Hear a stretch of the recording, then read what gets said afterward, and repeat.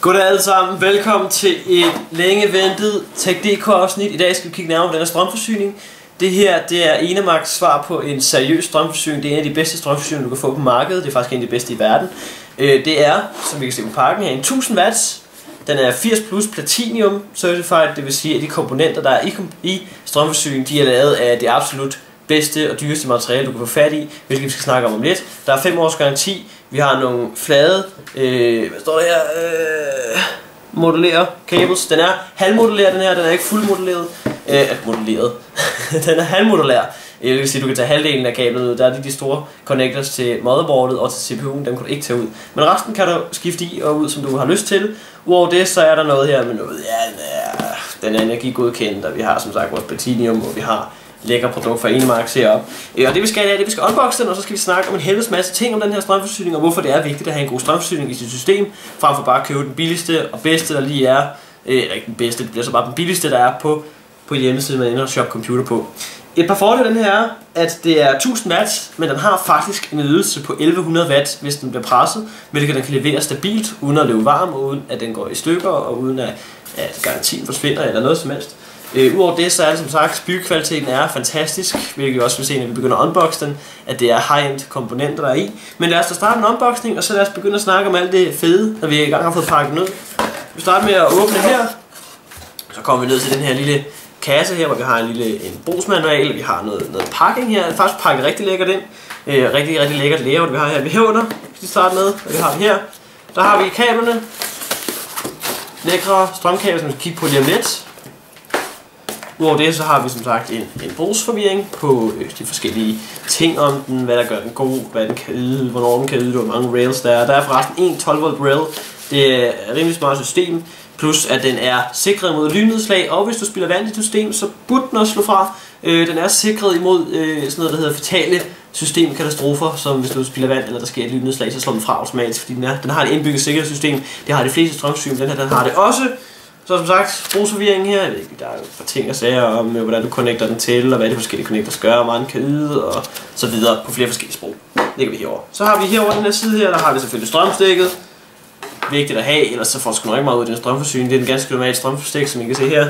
Ikke den store øh, stikkerejse med det. Det er også en ganske normal connector. Der er ikke nogen jord i, hvilket man så kan undre sig lidt over, men det er nok fordi de fleste af os normale mennesker ikke bruger jordstik til noget, øh, selvom man burde nok gøre det, men det gør vi ikke. Herover den her side, der har vi kablerne, der følger med. Vi har også en lille bøjle. Den her lille bøjle ved jeg faktisk ikke, hvad er til. Øh, men den er meget at have med øh, i tilfælde af får. Jeg tror faktisk godt, jeg ved, hvad den er til. Jeg tror, den er til at afmontere stik for strømforsyningen, men jeg ved det ikke, og jeg tør ikke sige det. Men i hvert fald, der følger en lille bøjle med en ars. Der må vi lige se på det senere. Og så har vi selvfølgelig de stik, der sidder fast, permanent monteret på strømforsyningen. Med strømforsyningen følger der også nogle små stik. Og der følger en lille markat, hvor der står Enemax Se her. Og så meget lækkert hernede. Og der følger selvfølgelig både sølvfarvet og sorte skruer med. Det er også rimelig luksus at med. Øhm, Udover det, så har vi selvfølgelig selve strømforsyningen. Og vi har også noget andet. Og oh, vi har faktisk noget meget spændende her. Det her, det ligner lidt... Øh, det ligner sgu lidt nogle øh, stickers af en art. Eller også er det til at øh, binde dine kabler sammen med. Det følger i hvert fald også med. Øh, meget lækker lille ting at have med også, når man køber en strømforsyning, der er så dyr, så er det meget fedt at få en masse små ekstra ting med. Udover det, så har vi ikke så meget tilbage andet end selve strømforsyningen, og der kan I se, der sidder allerede en del kabler på. Så kan vi prøve at se, om jeg kan forvikle dem ud. Her har vi to PCI Express strømconnector 6 pin plus 2 pin, så hvis du får brug for et ordentligt grafikkort. Udover det, så har vi til CPU'en, må det være, og der er forberedt til kæmpe CPU'er her, til hvis du skal have to gange, to gange 8 pin, altså 8 4 pin, så har du dem her, og de kan også skilles ad, kan de ikke? Jo, mere de kan. Øh, se engang, øh, jo, de kan godt skilles ad, men jeg ved ikke lige, hvordan man gør. Jeg tror, det har noget at gøre med den smarte tang, man har, men der, den kan man også skille ad, hvis man nu ikke de der CPU-connector sidder der over hinanden, men de kan skilles ad. Det ene af dem kan i hvert fald, den anden kan ikke. Men den her, den kan. Og det er lækkert at have. Jeg ved sgu ikke, hvordan man gøre, egentlig taget. Det til, øh, jo, det kommer godt. Man skal bare hive lidt i dem, så løsner de sig, hvis det sidder sådan små, så sådan små klør i, så kan man sætte dem sammen igen. Skide smart. Sådan der. Det er også lækkert at have. Det er derfor, den er halvmodulær. Det er fordi, at nogle af kablerne allerede sidder panelet monteret. Hvad skal man bruge strømsyn til, hvis ikke man skal sætte sit CPU og sit grafikkort til, så kan man så godt gå hjem og hænge sig selv. Øh, bare købe strømsyn for at sætte harddisk til. I hvert fald den her størrelse. Her har vi den så. Deres flagskib er en strømforsyning, en af de bedste, som sagt, i verden.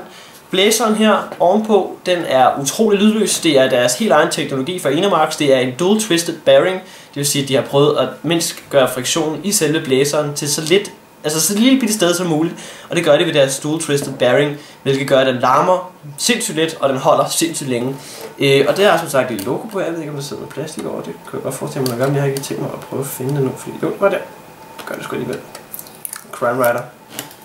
Der har vi så deres lækre Enermax logo, som virkelig bare symboliserer kvalitet. Jeg ser på siden, der står der Platimax med en krone, fordi det er noget af det bedste, du kan få. Og her på bagsiden, ikke det store, on-off kontakt, strøm, og så står der selvfølgelig Enermax igen. Den er lavet i, øh, i det virker som noget rimelig solidt stål, øh, og det har sådan en sjov belægning på overfladen, jeg kan se det her. Det er sådan en meget mærkelig belægning. Den er meget lækker og høj, og den er også anti-fit resistant, så hvis du, hvis du har den siddende et, et sted i din, i, i din computer, hvor den kan ses, så kommer der ikke fedtfinger på, fordi det er det værste ved de der helt blankpolerede strømsyner, det er lige snart du sætter den i, så ser du de der fedtfingre, du glemmer at tage, og det, det går ikke. Men den, den er i hvert fald anti-fit stof øh, ud over det hele på. Så i hvert fald, det skal godt. Blæseren har sådan sort glans til ved siderne. Selve gitteret er også lækkert lavet. Finderne herinde, de er gennemsigtige, øh, hvilket også er utrolig lækkert.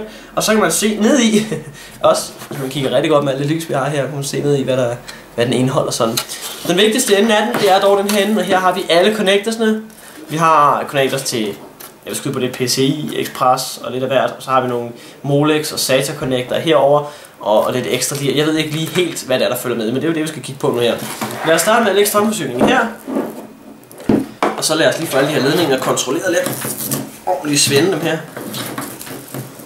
Og de er lækker braided, de er lagt i sådan en, øh, sådan en, en fin pose. Øh, der kunne man godt ønske sig, at det havde været noget, hvor der stod Inemax på hele vejen ned, eller alt andet. Men det er i hvert fald en udmærket øh, pose, og den er vel sejlet i enden. Noget andet, man godt kunne ønske sig, det var, at de havde sat et stykke på her, som ikke skulle se på alle de der farveledninger der. Det er meget kedeligt at se på alle sådan nogle ledninger. Men det, det, altså man kan jo ikke få alt, man peger på.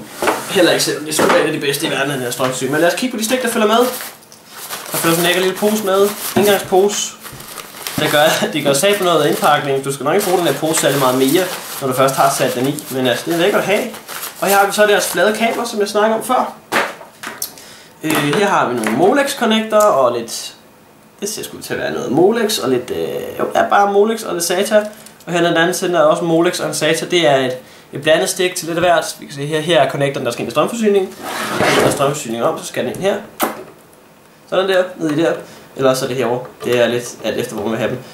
Der er sådan et smart kliksystem på, så når først den sidder i, så er den altså ikke til at hive ud igen. Og den er nem at få ud, lige snart du trykker lige de her to pinde ind, og så vil du få afmonteret den igen. Forholdsvis simpelt, sådan der. Det er godt at have noget, der sidder ordentligt fast, så ikke man, øh, det er ikke noget værd at samle en meget avanceret computer, og så komme til at hive stik ud, den der sammen. Udover det, her har vi endnu en af de her øh, SATA. Det her det er dog kun SATA-stik, der er på den her og den her også med et smart stik i enden til passe til strømforsyningen. Det her, det er deres Molex-kabel, der sidder 4 gange Molex og en... Så tænker jeg, hvad er det her for en stik, Gex? Og det ved jeg faktisk, fordi det har været en undersøg. Øh, det følger med næsten alle strømforsyninger den her lille satan. Og det er faktisk til at drive et diskdrev, hvis du har sådan et. Øh, så det er jo meget lækkert også at have med. Øh, her har vi endnu en øh, SATA connector til dig, der kan få nok af harddisk og bare skal have så mange som muligt. Det vil sige, nu har vi så det må så være 4 dm 8 SATA connector, plus den her, hvor der er to SATA connector på også. Og så har vi selvfølgelig den her, hvor der også er to SATA connector på. Og så har vi en ren Molex, hvor der er fire Molex på, plus de to Molex, der er i de to her også. Så det vil sige, at vi har, øh, hvis vi lægger dem ned, så har vi en ren SATA, og en til med fire SATA på, det er 8 SATA. Så har vi her en med ren Molex på. Nej, undskyld, det er en blandet en. Der er to Molex og to SATA. Så har vi endnu en med to Molex og to SATA her. Og så har vi en her med ren Molex, øh, som man bruger til fan controller, til blæsere, til alle lys, lir, man kan sætte til sin computer også. Faktisk kan at man bruger dem til, hvis man har en dockingstation, så er der også dem her Molex, man skal have fat i. Så det vil sige, at vi har, øh, vi har stik nok til at drive. Vi kan i hvert fald have minimum øh, 4, 8, 16 strøm. Øh, hvis du er psyko, psyko, så kan du have op til 12 øh, harddisk skal sætte til, hvilket er lækker nok. Jeg tror, der er 4, skal lige være sikker på, at jeg ikke fejl her. 8, 9, 10, 11, 12, jo 12, og så selvfølgelig en masse målestik også. Derudover så har vi selvfølgelig, som jeg viste lige før, øh, her til grafikkortet. De er fast monteret, fordi at hvis du kører sådan en strømsyn her, så går de ud fra, at du har et grafikkort, så kan de godt fast montere den på den her. Øh, dog så gør det lidt sværere at route kabler, når den sidder på, men sådan er det valgt at gøres her, og så må man jo så leve med det. Man ville vel godt have set, at den havde været fuldmodulær, det havde været lidt længere.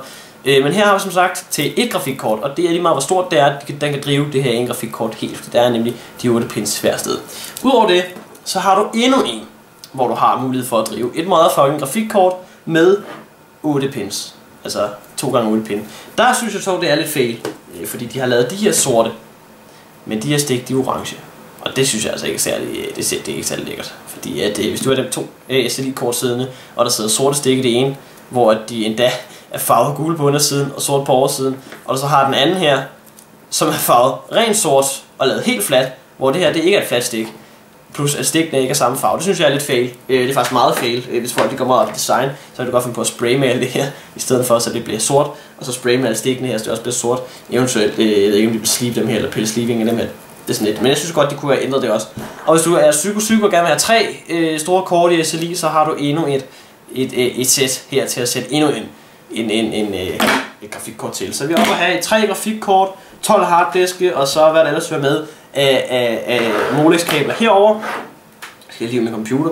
Øh, Udover det, som sagt, 24 pin til motherboardet her, og så har vi så faktisk to 8 pins her, hvor den ene kan splittes ad til hver 2x4 pin, hvis du har en, en Xeon processor eller et eller andet sindssygt, der bare skal have så meget strøm, eller et motherboard, der er lavet til et virkelig, altså virkelig seriøst overclock. Jeg mener Asus øh, Asus Extremus, et eller andet, de kører med mere end to stik. Øh, og det er fedt nok at have, øh, og så er mulighed for at sætte så mange strømstik til det motherboard, som du vil have. Hvis du kører med to CPU'er, så er det også meget lækkert at have to stik. Fordi der er øh, nogle motherboards, der kører med to. Asus har lavet et game motherboard med to plads til to i5 processorer, det er meget fedt at have strømforsyning til det også. Og det kan drive det, det kan den. Ingen tvivl om det. Udover det, som sagt, byggekvaliteten er top. Det er 80 plus platinum. Det er den bedste strøm, øh, altså det er det bedste materiale, du kan bruge til at lave strømforsyning med. Det er bedre end guld, bronze og sølv. Øh, og det udnytter energien, udnytter, jeg er blevet fra Jylland af, det udnytter energien så godt som overhovedet muligt. Øh, det vil sige, du, får, du spilder ikke noget energi. Og i og med, at det er platinium, og du ikke spilder noget energi, så kommer der heller ikke noget varme, fordi at der mangler undersøg, over, hvad varme er i en strømforsyning. Og varme i en strømforsyning, det er spildt energi. Så jo varmere din strømforsyning er, jo mere energi spilder den, og jo dyrere er den i strømregning. Selvom det er godt, at du har måske en 500 watt af en billig kvalitet, og en 1000 watt af en dyr kvalitet, de kan sådan set godt risikere at bruge det samme i strøm. Og det er fordi, at hvis 500, 500 watt den er så dårligt lavet, at den brænder sindssygt meget strøm af bare på at lave, altså på at formatere strøm om, det vil sige, at der kommer meget varme ud af den, så spiller den en masse strøm, og den her den udnytter så meget strøm, som du overhovedet kan. Der findes ikke nogen strømstation, der udnytter strøm bedre, fordi det er en 80 plus platinium. Det vil sige, du får, altså du kan ikke få mere. Vores teknologi i dag kan ikke yde mere end platinium. Øh, Som sagt, mindre varme, det giver også længere levetid. Det giver mere stabil øh, strøm til dine komponenter, og plus at dit kabinet, dit system ikke bliver nær så varmt. Og i og med at den ikke bliver særlig varm, så kører blæseren ikke særlig hurtigt rundt, det vil sige, at den larmer heller ikke på nogen tænkelig måde. Heller ikke under fuld load, som i øvrigt kan variere fra helt op til 1000 watt, som den er lavet til, helt op til 1100 watt, som er øh, max ydelsen. Øhm. Men som sagt, den lever i længere tid, det gør den i komponenter også, fordi den er 80 plus platinum. Den yder en sindssygt stabil strøm til dit system. Det kan også give bedre performance hvis du har en strømforsyning, der er gammel og slidt og sådan noget, så sender den dårlig strøm ud. Jeg har engang haft en, det snakker jeg med min gode ven Blue Kit om. Øh, det var en, ene, det var en Energon. Øh, og det er det værste shit, du kan få. Øh, den rester dine komponenter i løbet af to år så har du ikke nogen computer mere. Og det er synd, hvis, jeg har, hvis man har en computer til for eksempel 10.000 eller 20.000 eller 30.000 eller 40.000, så er det synd, at den skal blive brændt af, på grund af, at man har valgt at spare på strømforsyningen, som er en af de vigtigste komponenter, selvom folk de jo oftest undervurderer dem. Min gode ven Benny One, sådan noget, siger sådan, jamen det er jo bare strømforsyning, den skal jo bare køre. Øh, og det siger han stadig, selvom man har haft en strømforsyning, der brændte sammen for ham, øh, og som faktisk slukkede hans computer to gange i træk. Tre gange tror jeg, det var, den brød sammen, øh, og den larmede, og han kunne ikke optage og sådan noget. Strømforsyninger er vigtige, og det gælder om at få de bedste strømforsyninger, du har råd til. Om ikke andet, så lad at spare på den her, så spare på en SSD eller et eller andet, fordi strømforsyninger, det er vigtigt. Og det, det er det også for mig, inden jeg fik den her i hånden, det er ikke kun fordi, jeg skal sidde og anmelde den her.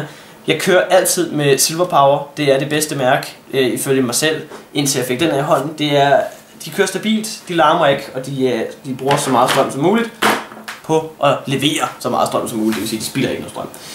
Som sagt, længere levetid, mere ydelse, stabil ydelse, når man overklokker.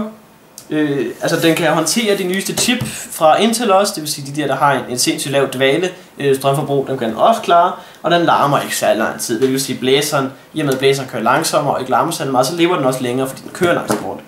Og det alt det her, det opnår med Platinum Efficiency, og det er fedt. Og så kan jeg godt sidde til en Gex, den koster jo 2.000 kroner. Ja, det er, det er en pure strømforsyning, og jeg må indrømme, at hvis, hvis jeg skulle have købt en strømforsyning, så havde jeg nok ikke valgt en til 2.000 kroner. Øh, fordi det er kun, hvis man er virkelig, virkelig seriøs overklokker, at man køber noget, der er så dyrt. Øh, det her er deres små øh, kabelstikker, øh, også meget lækre at have. Du kan øh, vippe den rundt sådan her. Og så har du det her lille logo, der sidder her, men så er der kabler, der går ind imellem. Det er meget fedt at have, øh, jeg tror det med til det synlige sted i systemet, eventuelt oven på øh, grafikkort PC Express casen her. Men det, jeg synes stadig, jeg kan sgu ikke komme over, at det har valgt at lave dem i forskellige farver. Øh, fordi så hvis du, øh, hvis du overklokker, okay, hvis du så har to kort, kan vi så sige. Hvis du har to kort, så kan du bare vælge helt eller være med at bruge dem, der kommer ud her. Og bare sige, okay, fuck det her shit, vi bruger ikke dem her, vi bruger udelukkende de orange her, og så kører vi de to kort på dem her. Det er det, jeg kommer til at gøre. Og så kommer de sidste to her til at bare ligge og dingle rundt ned i systemet.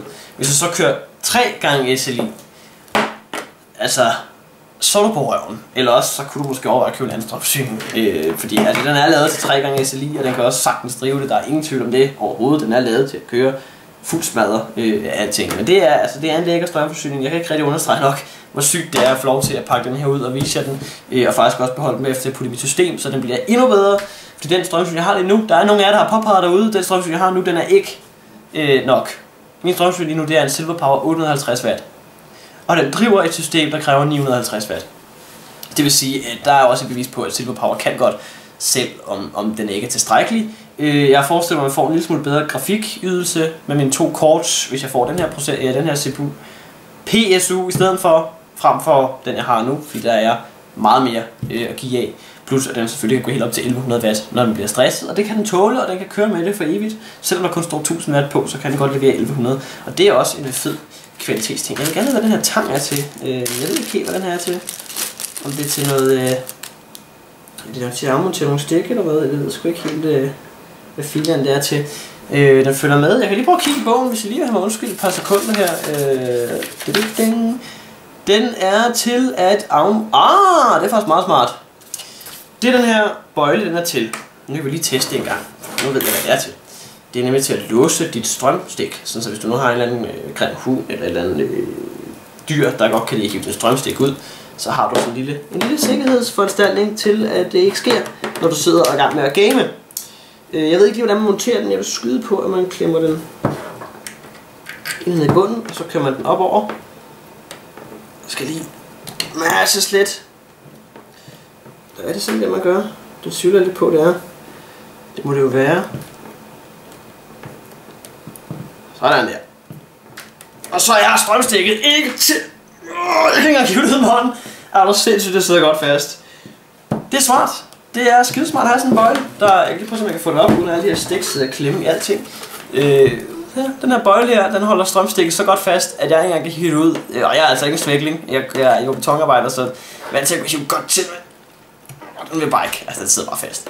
Og det er fedt. Og så hvis du ikke gerne vil have strømstik, så klikker du bare ned. Og så kan du pille ned i så nemt som ingenting. Og det er super lækkert at have sådan en lille, en lille sjov feature, som jeg faktisk ikke har set før. Eller som jeg ikke anede var, før jeg lavede den her video. Øh, så igen, også en lille lækker ting. Øh, fedt at have med fedt at kunne de ting. Altså hvis man har en dyr strømforsyning, så kan vi godt blære sig med det. Øh, og det, ja, det er jo meget fedt at have sådan en lille feature på. Øh, men ja, det, her, det var min, øh, min lille review til DK af en, åh, en ordentlig Enemax Platinum. Ja, den hedder så Platinimax Royal Edition, ting, ting, 1000 watt høj ydelse, platinum, 80 efficiency, sikret mod lynnedslag, sikret mod øh, vand i dit system, sikret mod alting. Den kan tage det, og den vil tage det, og den er lavet i super lækre materialer. Det eneste nederen ved den, det er, at hvis du er øh, designernørd, øh, som jeg er for eksempel, så har du et problem med, at stikkene ikke er samme farve, og de ikke er slivet på samme måde. Det, det kan jeg ikke rigtig tage, fordi det, det, altså, det går lige i mit, mit, øh, mit OCD-hjerte, at tingene ikke ser ens ud. Det kan jeg ikke tage. Men øh, man kan så hellere gå hen og bruge to af de her udvidelsestik, i stedet for, og så er man fri for det problem, så længe man ikke kører mere end to kort. Det er de færreste, der kører mere end to grafikkort. Øh. Så i hvert fald tak, fordi I gad at kigge med. Jeg håber, I nød det her review af min, øh, noget af en strømforsyning her fra Enemax. Og tusind tak til Enemax, ja, dejlig computerleverandør for at have sendt den her til mig. Det er super lækkert. Vi har også kigget på deres case. Og næste gang vi skal til at lave et unboxing øh, og et TechDK review, så bliver det faktisk noget, som er så spændende som den her. Jeg har den klar her. Det her det er en, en ond CPU-køler. Den kan the shit, og den køler the shit, og den ser lækker ud. Den skal vi kigge på i næste episode, øh, så husk at hænge på til noget øh, CPU øh, ultrakøling system. Mit navn er Gex. Jeg er glad for at have leveret den her video til jer. Jeg håber, I nød den. Husk at trykke like, hvis I er glade for de her slags videoer.